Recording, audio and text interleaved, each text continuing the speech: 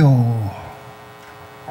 어, 전반에 대해서 한 시간 정도지만 어, 지금까지 여러분들이 어느 절에서 어느 큰 스님한테서 듣지 못한 그런 새로운 말씀을 들려드립니다.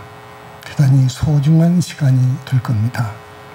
경청해 주시기를 간절히 바라면서 예, 지금 우리가 사는 21세기 이 지구촌 많이도 삽니다. 사람들이 약 67억 정도로 어, 통계가 나옵니다. 불교를 유시해서 많은 종교가 있습니다. 미국만 해도 어, 사교 집단이 5천을 넘는다고 합니다. 그리고 기독교만 해도 개신교, 기독교만 해도 어, 종파수가 2만 5천을 헤아린다고 합니다. 달리 각각 여러 형태의 종교를 믿고 있습니다. 하나님이 태초에 하나님이 계셔서 우주 만물과 인간을 창조했다고 합니다. 엿새 만에. 이러한 유일신 교를 그 많은 사람들이 따릅니다. 불교는 아닙니다. 불교는 그러한 유일신을, 유일신의 존재를 부인합니다. 태초에 인격자는 없다고 봅니다. 비인격이 있었다고 봅니다. 이 우주 만물을 창조한 창조한 유일신은 없고 영원히 멸도할 수 없는 멸도할 수 없는 그러면서 우주에 두루한 우주에 변제한 스스로 있는 자존자가 있었다고 합니다. 좀 어려울 겁니다. 생소할 겁니다. 우주에 두루한 스스로 있는 자존자. 이건 비인격입니다. 코도 없고 눈도 없고 몸뚱이가 없습니다. 이 비인격, 이 이법, 요것으로 말미암아서 만물은 나오게 됐다. 인연 따라서 중중 무진 연기를 거듭해서 진화해서 오늘날 이 우리가 보는 이 세계, 이 우주, 이 사람들 모든 것이 벌어져 나왔다. 이렇게 봅니다. 이것을 이해하기 위해서는 우리가 짓는 업이 있지 않아요. 업. 몸뚱이로 생각으로 뜻으로 짓는 업이 있습니다. 어제 나쁜 짓 했으면 어제 나쁜 짓 했으면 오늘 반드시 형사가 잡아갑니다. 인과라고 합니다. 인과. 이것이 진리입니다. 죄를 짓지 아니하면 아는 사람은 잡아가지 않습니다. 인과법, 인과법, 인연법, 또 업설, 전생에 복을 많이 지은 사람은 분명히 금생에 잘 삽니다. 복을 많이 지은 사람은 복을 짓지 않고 나쁜 짓만 한 사람은 금생에 부모도 세상 가난뱅이 부모 만나서 그 환경에서 자랍니다. 하려고 해도 성공하려고 기도해도 안 됩니다. 전생에 지어는 복이 없으니까 이것이 진리입니다. 이것이 진리입니다. 선인 선과 악인 악과라고 합니다. 이것을 착하게 살았으면 반드시 반드시 복을 받고 악하게 살았으면 반드시 과복 그 과복 괴로움 고통을 받는다 하는 것이 불교의 설입니다. 부처님의 말씀이었다. 이것을 인과법이라고 합니다. 인과의 법칙, 카르마의 법칙, 줄여서 인과법, 인연법 그럽니다. 또 업설 그럽니다. 불교는 요걸 주장합니다. 자, 이것이 진리입니다. 인과법이 진리입니다. 우선. 우선 그건 맞습니다. 그런데 부처님이, 부처님께서 이 세상에 나오셔서 열반에 드신 지가 2600년쯤 됩니다, 현재. 우리 불교도 나라마다, 나라마다 교파가 있고 종파가 있고 그럽니다. 우리 한국도 여러 종파가 있습니다. 불교 여러 종파가 있습니다. 그런데 내가 볼 때는 내가 볼 때는 한마디로 부처님의 정법이 정법이 땅에 묻혀졌구나. 땅에 묻혀졌다. 쇠잔해졌다. 왜소화해졌다. 왜곡되어 버렸다. 정법이. 이것이 현실로 진단합니다. 우리는 정법을 만나야 되는데 불교라, 불교는 분명히 정법인데 왜 부처님의 사상이 부처님의 가르침이 이렇게 왜곡이 되었는고 이렇게 왜소화되어 버렸나? 여러분 내가 지적합니다. 부처님 가신 지가 2600년이 되도록 인간이란 무엇인가에 대한 해답을 못 내주고 있습니다. 인간이란 무엇이냐? 자 인간이란 무엇인가를 규명하려면은 이 육신, 이 육신의 구조와 생리적인 모든 신경조직, 신경총 나아가서 그것을 주관하는 그것을 주관하는 영혼, 영혼의 실체를 규명해 나가야 됩니다. 그런데 영혼의 실체를 규명하는 데 있어서 실패하고 있습니다. 실체 규명 못하고 있습니다, 현재. 우리 불교는 부처님의 가르침이었다. 부처님 말씀대로 수행을 해서 아라한이 되고 그래서 윤회를 벗어나고 보살이 되어서 삼계를 저 뛰어넘어 있는 정토에 나고 그리고 결국에는 붓다가 되는 성불 성불을 주장하는 성불을 바라는 종교입니다. 우리 불교가.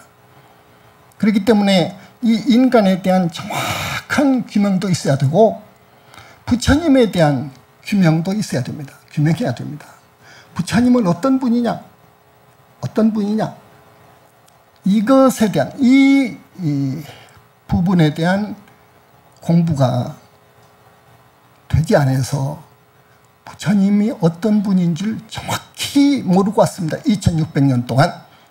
부처님을 완전히 알려면 불신, 불승을 규명해야 됩니다. 부처님 몸뚱이 법화경, 화엄경을 보면 그 불신의 불가사의한 활동, 교화 활동을 볼 수 있습니다. 이건 희유입니다.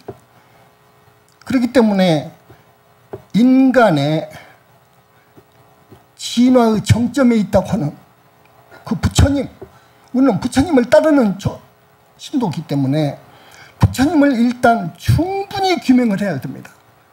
충분히 어떤 분인가 충분히 규명을 해야 됩니다. 부처님 가신 지 700년쯤 돼서 인도에 아주 걸출한 위인이 나왔습니다. 여러분이 아시는 용수입니다. 용수. 용수라고 하는 큰 대학승이 나왔습니다. 학승면서 수행도 많이 했습니다. 만년분입니다. 그분이 부처님에 대한 연구를 대단히 많이 했습니다. 용수대 와서 부처님은 희귀한 분이다. 부처님은 몸뚱이가 두, 둘이 있구나 하는 것을 밝혔습니다. 부처님은 우리 사람과 달리 몸뚱이가 둘이요. 크게 말해서. 생신과 법성신 그럽니다. 거기서. 이제 용수대에 와서 그래요. 물론 그때까지 부처님이 너무도 위대한 어른이어서 부처님을 잃은 제자들이 또 그 신자들이 부처님을 사모하고 부처님을 공경하고 공양하고 그래야 되겠는데 도저히 부처님에 대한 것을 알 수가 없으니까 이미 생, 육신의 부처님은 가셔버렸고 많이 다비를 통해서 남겨놓은 사리가 있잖아요. 사리를 모시고 탑, 그래서 탑이 생깁니다. 탑에 탑에다가 사리를 모셔가지고 공경하고 예배했습니다. 그러면서 2000 몇백 년 전에 돌아가신 가신 그 부처님을 사모했다고. 그래서 용수대까지는 부처님은 어떤 분이냐? 부모가 낳은 육신, 생신이라고 그래, 생신. 육신, 육신을 지니신 분이면서 동시에 법신을 지닌 분이다. 법신이라는 뭐냐? 법신이라는 건 뭐냐? 그때는 이렇게 생각했어. 부처님이 45년 동안에 많은 계층의 사람들을 상대해서 법을 설하셨잖아요. 법을 설하셨잖아요. 그 법의 말씀을 법신으로 생각했습니다. 부처님의 법의 말씀, 그걸 법신으로 생각을 해왔어. 그러다가 영수대에 와서는 화엄경을 보고 법화경을 보고 열반경을 보니까 아니요, 그것이. 아니요, 분명히 계셔. 이 부처님이 계셔. 가셨다고 그러는데 계셔. 그리고 본생담을 보면 야탁하라고 합니다. 본생담. 본생담. 부처님께서 전생에 전생에 전생에 많은 전생에 사슴으로도 태어나고 코끼리로도 태어나고 어쩔 때는 거부 장자로도 오고 왕후 장상으로도 오고 그러잖아요. 수백 가지 전생담이 있습니다. 그것을 전부 용수가 훑어보고 아 부처님은 부처님은 예사 사람이 아니요. 예사 사람이 아니요. 이 몸뚱이 하나만 있는 거 아니요. 우리가 볼 수 없는 어떤 몸뚱이가 있구나. 불관을 증하면 우리가 볼 수 없는 어떤 몸뚱이가 있구나 해서 법성신이라고 그래. 지금 영산불교에서 이야기하는 보신부라고 법신불과 합한 개념이었다. 그게요. 그런데 그 후 한 300년 흘러서 그러니까 부처님 가신 지 천년쯤 돼가지고 아주 영수만큼 위대한 두 학생이 나왔습니다. 형제인데 무착 세친입니다. 세친을 천친이라고도 하고 그럽니다. 무착은 범어로 아상가, 요 세친 동생을 바스완두라고 그래 바스완두. 이 두 분, 이 두 분에 의해서 이 두 분은 불교 경전을 정말로 앞으로 뒤로 끈 사람들이에요. 대단한 학자들이에요. 그리고 무시무시한 수행을 했어. 무착 세친이란 사람들이. 그래서 삼신설이 나옵니다. 삼신설이 나오. 그러니까 이 신설에서 삼신설로 나오기까지는 보신불이라고 하는 사상이 성립이 됩니다. 보신불이란 뭔 말이냐? 부처님은 부처님은 우리 인간이 볼 수 없는 볼 수 없는 어떤 몸뚱이를 지니고 있다 하는 거예요. 이것이 무착 세친에 의해서 확립이 됩니다. 맞다. 그러니까 부처님은 우리 중생과 달리 달리 부모로부터서 물려받은 이 몸뚱이 색신과 색신과 우리가 눈으로 볼 수 없는 보신과 보신과 보신을 얻을 수 있는 경지에서 우주의 본체와 하나가 하나로 개합한 몸이 있습니다. 이것을 우리 현지사에서는 법신불이라고 하는데 우리 영산불교에서 5년 전에 책을 내놓은 그 책, 그 다음 붓다 메시지 2권에서는 상당히 구체적으로 나왔습니다.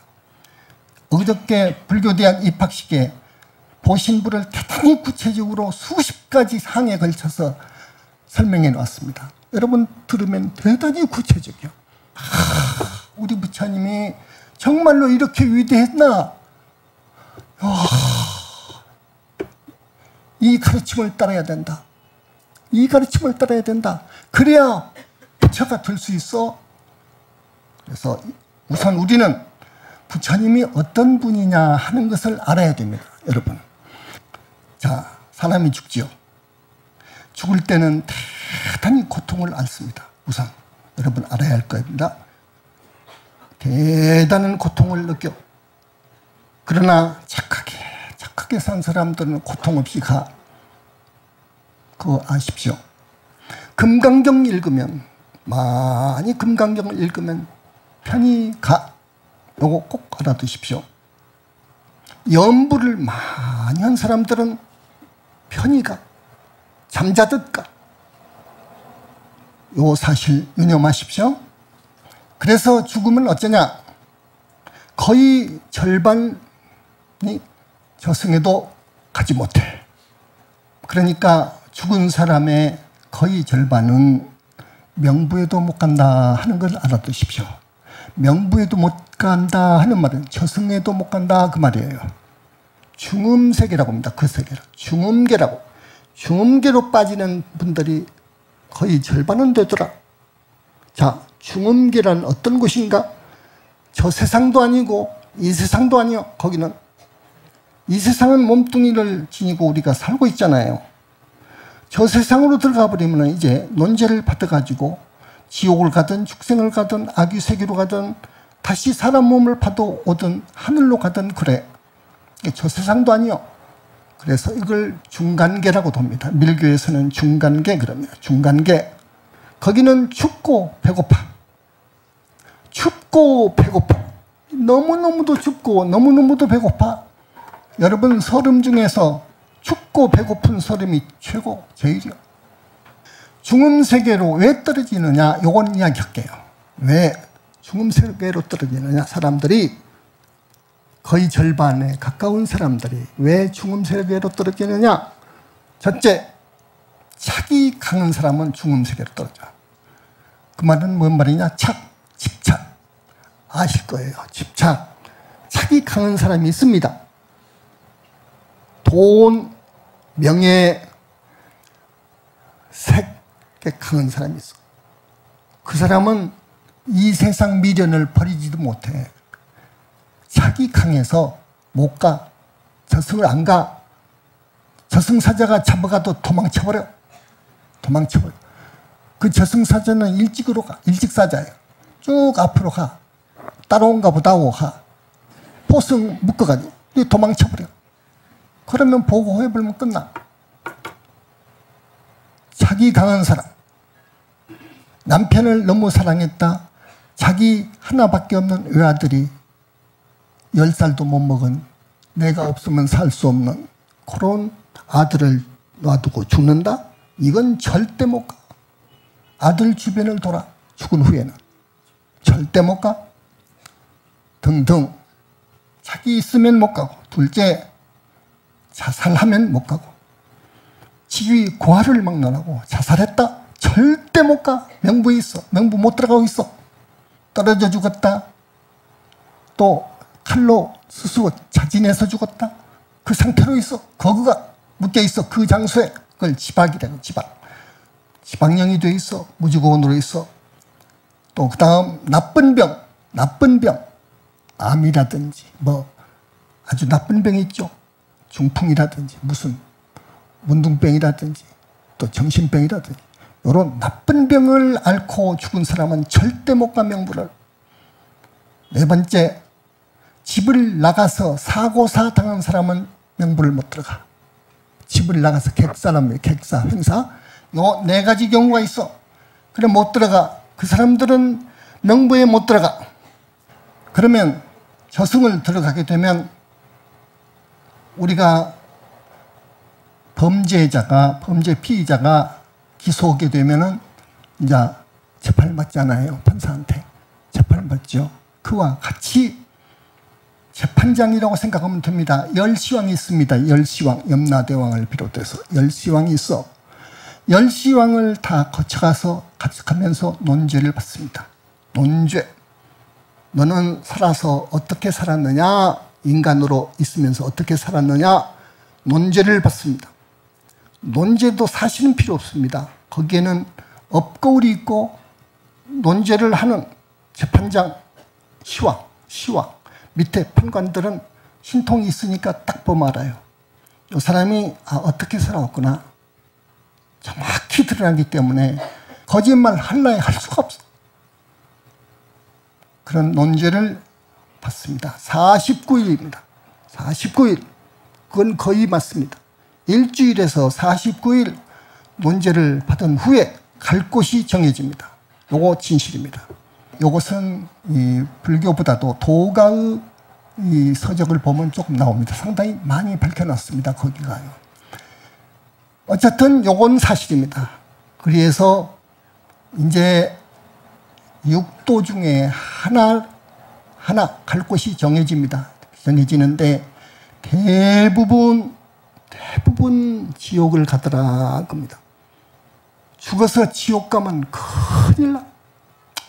여러분 스탈린 치하에 스탈, 스탈린 소련 치하에 정치범들을요 무섭게 다루었습니다. 무섭게 다뤘어.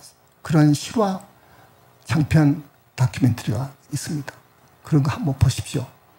전기 고문이 문제가 아니라 이건 뭐 짐승 다루도 돼. 치고 패는 것이 아니라 이건 뭐 방법에 있어서도 이건 인격이라는 것이 없어. 그렇게 무섭게 다루잖아요. 그것은 지옥의 벌로하고 천, 당이요 그거는 천당.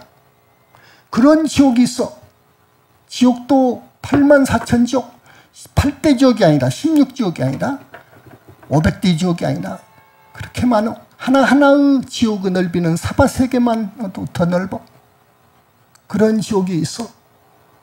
부처님께서 2600년 전에 자상히도 말씀을 하셨어요. 하셨지만 그 후로 그 후로 공부를 많이 한 분들이 나오지를 못해 가지고 이것이 묻혀져 버렸습니다. 분명히 사람들은 지은 업을 따라서 육도에 윤회합니다. 이건 정확 합니다. 영산불교에서 이 부처님의 말씀을 다시 재확인하고 재확인합니다. 이것은 맞습니다. 우리는 정법을 찾아야 되는 거예요. 정법 만나기 어려운 거예요. 맹구목 말을 하죠. 맹구목 눈먼 거북이가 눈먼 거북이가 망망대해서 백년에 한 번씩 세상 바다 밖을 구경하려고 머리를 드미는데 이리 흔들 저리 바람에 이렇게 떠다니는 표류하는 나무 판자가 구멍이 딱 나서 어떻게 오랫동안 그것이 흘러다니고 했든지 그래서 그 눈먼 거북이가 세상을 구경을 하고 뭐 머리를 쑥 내미는데 그 나무 판자 구멍을 뚫고 세상을 보는 격이라고 합니다. 맹구우목이라게. 이런 확률은 없는 거예요. 정법 만나기는 그렇게 어려운 거예요. 이 오열이라고 합니다. 우리 절에서 지금 다섯 분 부처님을 모시고 있죠. 오열에 다섯 분 부처님, 그 많은 부처님들이 계십니다. 계시는데 이 다섯 분 부처님이 대표 되시는 어른 부처님들이죠. 서가모니 부처님, 최초의 불관을 증하신 우리 서가모니 부처님이고 그 다음에 두 번째로 불관을 이룬 다보 부처님이시고 그리고 세 번째로 불관을 이루신 분은 모든 부처님의 어머니이신 대준재보살님인데 오열에다가 거기다가 그 판열에 놓지 않고 서가모니 부처님과 별도로 판열에 둡니다. 그래서 세 번째 부처님은 약사일의 부처님, 네 번째 부처님은 아미타일의 부처님, 다섯 번째 부처님, 그러니까 불과 이룬 순서면서 소위 위실력, 파워를 그만큼 지니고 계신 다섯 분의 부처님을 드는데 그 오열이라고 그래요. 다섯 번째가 보명열의 부처님, 보명열의 부처님. 지금 이렇게 다섯 분 우리가 모셔놓고 있어. 저기 스포츠에 스포츠도요 축구라든지 씨름이라든지 마라톤이라든지 전번에 동계올림픽의 그 피겨스케이트라든지 어쨌든 여러 스포츠가 있잖아요. 음악이라든지 미술도 여러 장르가 있습니다. 모든 분야에서 성공을 하려면 성공하려면요 뛰어난 사실 바탕 재질이 있어야 돼요. 선천적인. 그러면서 필수 조건이 있습니다. 필수 조건은 뭐냐? 위대한 훌륭한 스승을 만나야 돼. 지도자를 만나야 돼. 김연아도 그 감독 코치가 이름 있는 분이에요. 대단한 분이에요. 그래서 그 재능을 마음껏 발휘할 수가 있어서 이번에 금메달 딴 거예요. 우리 불교도요, 마찬가지입니다. 수행하는 스님들도 또 여러분도 영적인 스승을 또 혹은 위대한 스승을 찾아가야 돼요. 그분은 잘 알기 때문에 길을 알기 때문에 그러, 그런 길로 가면은 종아리로 회초리로 종아리를 때려서 넣가면 안 된다 하고 그래서 선도해 향도해 주는 거예요. 그래 위대한 스승을 만나야 돼요. 정법을 만나야 돼요. 정법을 여러분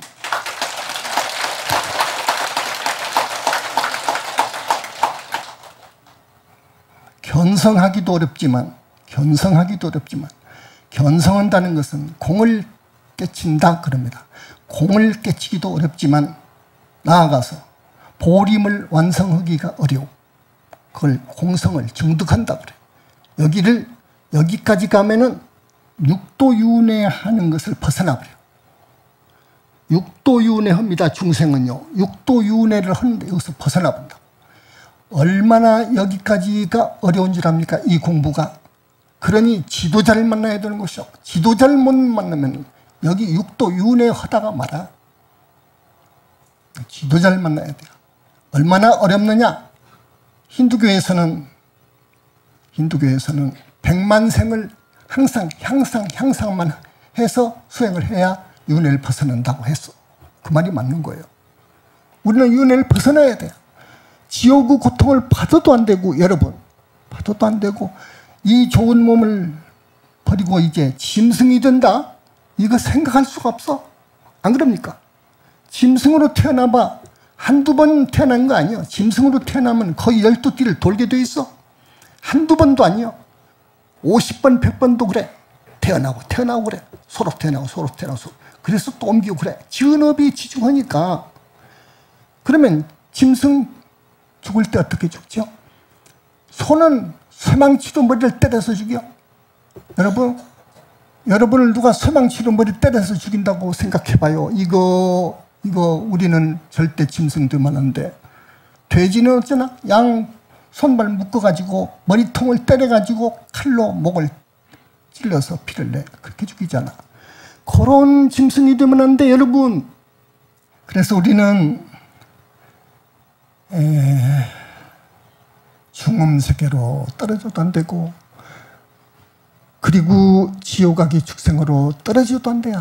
여러분 정말로 오늘 이 시간을 통해서 여러분한테 이거 힘주어서 여러분한테 말씀을 드립니다. 여러분 절대 안 돼. 절대 안 되니까 스승을 만나기를 정법 도량을 만나기를 정말로 역설합니다. 여러분한테. 우리가 죽으면 매미가 허물을 벗고 나가는 놈 있잖아요. 그와 같이 생각하면 됩니다. 이 몸을 버리고 나오는 놈이 있어. 이걸 영혼체라고 그래. 우리 영, 영산불교에서는 영혼체. 영혼에는 몸뚱이가 있다는 것을 알았어. 이것이 윤회의 주체요. 무아, 무아. 이게 불교 중심 교리이기 때문에 무아를 잘못 알아가지고 윤회의 주체를 부인해 없다고 해. 지금 그런 실정인데 인간 영혼의 실체를 규명한 영산불교에서는 부처님의 완벽한 그 불신을 규명한 영산불교에서는 그 사람들의 주장과 말을 한탄하면서 내 책의 한 장을 통해서 그것이 잘못이다. 영혼은 몸뚱이가 있어 영혼체가 이것이 윤회의 주체다. 윤회의 주체다. 무아라는 것은 비하다. 비하, 탐욕, 그리고 진해심, 우치한 마음 이런 번뇌들, 업장들, 악과 습에 탁한 기들이 도덕도덕 붙어 있어. 그걸 다 털어버리라. 털어버리는 것이 이제 수행인데 다 털어버리면 아무것도 없는 것이 아니요. 순수 자기 영화가 나와. 이게 아라한이요. 여기가 이제 아라한이요. 근데 이걸 모르니까 무아를 아무것도 없는 것으로 해석을 해.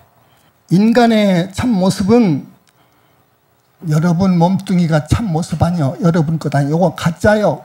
요거 가짜인 거요. 요 말은 맞아 지금. 가짜요. 여러분 몸속에 들어있는 영혼체와 그 빛깔이 여러분의 참 모습이지 육체는 거짓된 여러분의 모습입니다. 이거 잘 아십시오. 자, 부처님은요, 부처님은 불과를 이룬 분은 저기 우주 절대계에 자기 진짜 몸뚱이를 만듭니다. 진짜 몸뚱이를 얻습니다. 이 굉장히 중요한 이야기입니다. 아까 보신불 사상 혼입이 되고 삼신설 이해하는데 도움이 될 거예요.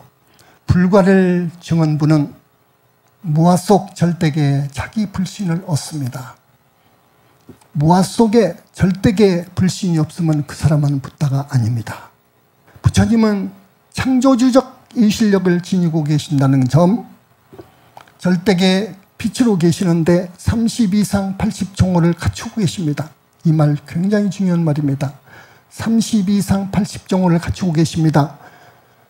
중생들, 사람들, 잘 생긴 사람들 30 이상 중에서 하나, 둘, 셋 갖추면 잘생긴 거예요. 그거는 30 이상을 갖추고 계십니다. 그 다음에 부처님은 그 몸뚱이는 빛으로 이루어져 있습니다. 사람들은 육신, 4대, 지수화풍으로 이루어져 있습니다. 그러나 절대계에 계신 자기의 불신은 불가증하는 붓다들은 전부 무량 억정광이라고 하는 법화경 화엄경에서 말하는 나유타, 아승지, 종류의 빛깔의 빛 이건 상상할 수 없어. 그런 빛의 몸뚱입니다. 그런 빛으로 몸뚱이를 이루어져 있습니다. 몸뚱이가. 부처님 말씀은 아까 금강경에서 말씀드린 바와 같이 정말로 진여자요, 실여자요, 여자요, 불광하자요, 불리여자요 것이다. 일거수일투족은요, 삼천이와 팔만세행을 갖추고 계십니다. 이건 경에 있는 말인데 확실히 맞습니다. 엄청난 이야기입니다. 3천 이와 8만 세행을 갖추고 있다는 것은 한 찰나도 흐트러짐이 없다고요. 법도에 맞다고. 한 찰나도. 그래서 인간이 갖출 수 있는 최고의 인품과 능력을 갖추고 계신다고요. 그래서 이것을 어느 학자는 인간 이데아라고 해요. 이데아, 플라톤이 말한 이데아, 인간 이데아. 그 말은 가장 이상적인 인간이다고요. 나는 거기다가 신의 이데야 더 보태. 신의 이데야. 신. 지금 하늘 사람들 신이라고 그래. 신. 하늘 사람들은 신이라고 하고, 여기, 여기 지구촌 명부에 못 들어간 신을 귀, 귀라고 한 거예요. 귀. 여러분 알아둬야 돼. 그러니까 하늘 신의 총수인 옥황상제보다도 훨씬 상위에 계시는 최고 인품과 능력을 지니고 계신 분이 우리 붓다요. 저그 절대계에 계신 부처님 그래. 불관을 지은 분들은 모두 절대계 자기 불신을 가지고 있어. 그렇게 아름답고 예쁘고 훌륭하고 필설로 형언할 수가 없어. 그 빛은 무량광은 무량광은 견성할 때 드러난 자성광 이것하고 돼. 이것은 색깔이 몇 가지 아니에요. 저거는 억 가지 색깔이 억 가지면서도 투명하기가 여름 낮에 지인주 다이아몬드를 놔둬 봐봐요. 아, 어떻게 발산하잖아요. 색을 색깔을 이걸 연상하시면 돼요. 불양옥종광은요. 그 광명이 빛이 너무너무 눈부셔서 중생이 보면 중생 없이 영체가 녹아버려. 한 생만 인간 몸을 받아서 받으면 성불할 사람이 있어. 그걸 일생 보초보살이라고 그래. 구체적으로는 우리 영산불교에서는 그걸 불격을 갖춘 최상수 보살이라고 그래. 붓다가 된 사람은 그런 사람들이 와서 되는 거예요. 근데 그런 사람들도 선정해서 볼 때 눈이 실명할 정도예요. 부처님 몸뚱이를 볼 때. 그게 무량 억종광이요. 그러면서 강도도 어마어마해. 강도도. 강도도. 강도 여러분 섬광을 보시죠. 병력 칠 때, 벼락 칠 때 섬광. 섬광의 위력이 어마어마합니다. 그 힘이. 근데 그것보다 더 허다 거예요. 그것을 먹어버릴 정도가 되니까 불가증한 사람은. 이렇게 신비하고 불 가사의한 무량 억정강으로 몸이 이루어져 있어. 그렇기 때문에 영원히 살아도 죽을 수가 없어. 영, 부처가 되면 영원히 살아도 죽을 수가 없어. 그리고 그 세계는 극락의 극락이요. 극락의 극락이요. 백천삼매 위에 있는 대적정 삼매를 수용하시기 때문에 그분들은 극락의 극락에서 항상 살아. 진선미라고 있잖아요. 진선미. 완전한 진이요. 완전한 선입니다. 그 몸뚱이는요. 거짓을 말하지 않아. 진, 진리와 개합했기 때문에 우주, 아까 스스로 있는 자존자, 우주의 두루 변지한 이것과 합해져 버렸기 때문에 우리 부처님은 진리의 권화에 말씀도 한마디 없어. 한 말씀 딱 하면 그의 법이요. 그러니까 우리한테 말을 바꾸는 것을 굉장히 싫어하셔. 한번 죽는다 했으면 죽어라. 이렇게 밀고 나가. 그 사람한테 뭐 약속했으면 절대 그 약속을 이행하라. 이게 부처님이에요. 정치권 사람들을, 정치인들을 우리가 불신하고 미워한 이유가 자꾸 바꾸니까 그래, 말을. 바꾸. 그러면 지도자 자격이 없는 거예요. 그래서 적어도 아라한 이상 보살, 부다에게는 부처님께서 첫째, 말 바꾸지 마라. 말 바꾸지 마라. 무량한 자비와 복덕을 지니고 있어. 무량겁을 통해서 자비와 복덕을 닦았기 때문에 불관을 이룬 분의 저 불신은 무량한 자비와 복덕을 지니고 있어. 진선의 이대예요. 우주에서 가장 아름답고 거룩한 모습을 지니고 있어. 30 이상 80종호니까 미의 극치여 진선미 미의 극치여 살아서 잘 살고 죽어서 좋은 곳에 가야 돼 여러분 여러분 안 그럽니까? 살아서 살아서 잘 살고 죽어서 좋은 곳으로 가야 돼 최소한 하늘 가야 되고 죽으면 인간으로 오고 그래야 돼 그러다가 정법을 만나면 윤회를 벗어날 수가 있어 정법을 만나야 돼 그래서 우리는 다급생으로 지은 죄업장을 닦을 줄 알아야 돼요 이걸 안 닦으면 안 돼. 닭업생으로 내려오면서 지은 죄를 닦아야 돼, 여러분. 둘째, 닭업생으로 내려오면서 지은 빚을 갚아야 돼. 은혜를 갚아야 돼. 요 두 가지를 여러분이요, 살아생전에 숙제인 겁니다, 여러분. 수행승도 그것이 숙제예요. 그러려면 부처님께 귀의해야 돼요. 진짜 부처님 종단에, 교단에 귀의해야 돼요. 여러분, 공덕을 지라고. 부처님 교단에다가 시주하거나 등을 밝히거나 그 등에다가 반드시 내가 지은 죄를 참여합니다. 내 지은 죄를 소멸해 주소서 써야 된다고. 닭업생으로 사람 몸 받아오면서 살생은 죄가 있잖아요. 살생은 죄. 사람도 죽이고 동물도 죽이고 동물도 사람 명치가 들어가는 동물이 있어. 그거 죽이면 안 돼. 원결이 맺어져. 원결이. 저 중학생 누구 하나가 성폭행 당해서 죽었잖아요. 그 죽인 놈하고 원결 때문에 그래, 전생에. 상대를 죽이면 반드시 그 상대한테 죽을 날이 있어. 요것이 인과요. 요것이 인과요. 요것이 인연법이요. 요것이. 이것이 진리요.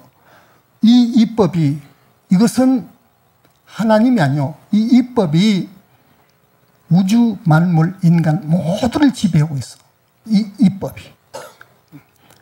그래서 우리는 나쁜 짓 해서는 안 돼. 우리 현지사에서는 칙명연불의 수행법을 권합니다. 칙명연불.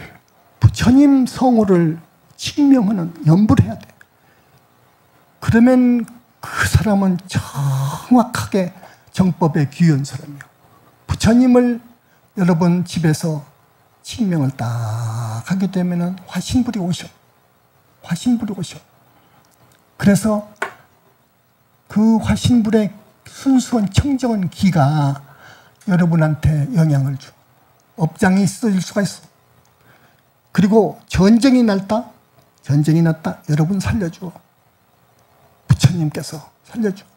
부, 불관을 증한 저 원반 보신 분들은요, 백천만 억으로 낮출 수 있어, 자기 몸을. 이거 희한하잖아요. 그래서 동시에 천 군데 만 군데 10억 인구가 부른다 해도 10억 몸을 낮춰서 갈 수 있어 그 사람 앞으로 그 빗덩어리 몸 복사체가 화신이 그래서 그 사람하고 그 사람의 업장도 씻어주고 소원도 이루어지려면 업장이 있어져야 돼요 그러니까 칭명연불이 최고예요 여러분 자 칭명연불 좀 합시다 여러분 오늘 처음 오셨지만은 이렇게 하는 거예요. 합장해봐. 그 자리에서 합장을 이렇게 하셔봐. 합장법도 있지만은 다 생략하고 우선 합장하셔요.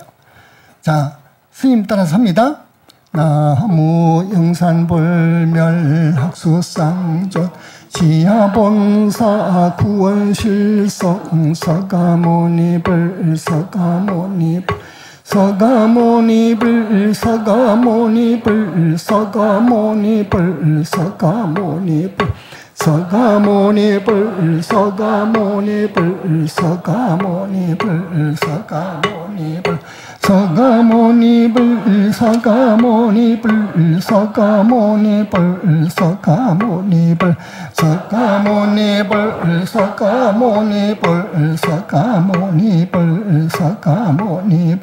니불 서가모니불 서가모니불 서가모니불 서가모니불 서가모니불 서가모니불 서가모니불 서가모니불 서가모니불 천상천하무 여벌 시방세계 영무비 세강서유와 진결일체 모여 여벌자 고일심 김영청이 여러분들한테 부디 당부합니다. 업을 이상 짓지 말고 착한 사람 되어서 부모 조상에게 효해서 은혜를 갚고 이웃을 위해 좋은 일 많이 하고 살아야 한다고 강조합니다. 여러분 더욱 거룩하신 우리 부처님 그 가르침을 따라서 불자답게 염불하면서 살아야 됩니다.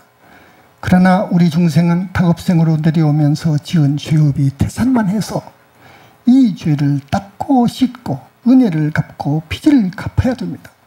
그리고 앞으로는 이제 오계 십선으로 살아야 하늘을 가고 윤회를 벗어납니다. 여러분, 여러분 꼭 여러분 다음 생에도 다음 생에도 사람 몸 받고 하늘 가고 그래서 지긋지긋한 이 인생 안 오고 오지 않고 하늘에서도 하늘이라고는 저 성중 하늘 거기서도 하늘이라고는 극락세계 거기 가야 됩니다 여러분. 갈 길이 있습니다. 자 이만 드리겠습니다